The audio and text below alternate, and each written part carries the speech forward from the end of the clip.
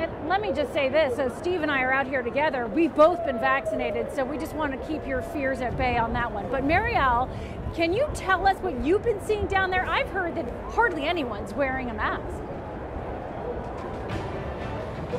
Yeah, uh, I can probably agree with that. I want to just, if you kind of look behind me right now, you can kind of straight see down into the DORA and see where the crowd is.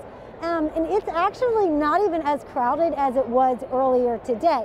Now, a lot of the crowds, they tend to gather around the outside of the bars, uh, or if there's a long line coming out of the bar, that starts to make these crowds and people form around them. And see, the problem is if you are carrying a drink and you're allowed to be drinking uh, and you're actively drinking, you're, you're going to have your mask down. So that is why you see so many people not wearing their masks.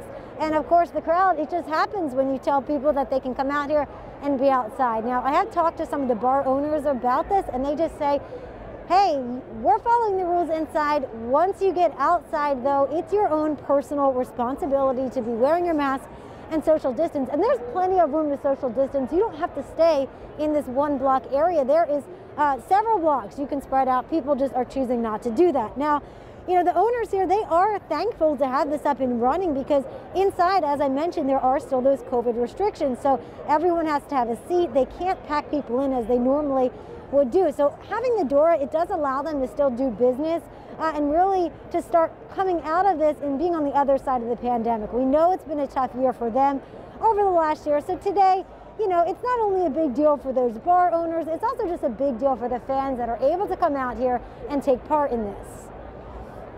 I can't believe how excited I am and that I, have waited two years for this. I've waited two years for this to come again. And I said, I might cry during the national anthem because I'm so happy to be here. And Kim, she told me that she is late for everything, but the one thing she is not late for is opening day.